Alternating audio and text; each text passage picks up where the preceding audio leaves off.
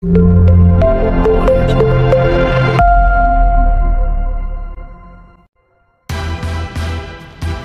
benar-benar merasa sangat geram kepada Shiva dan juga Davri karena mereka berdua selalu saja menggagalkan semua rencana yang telah dilakukan oleh Andre.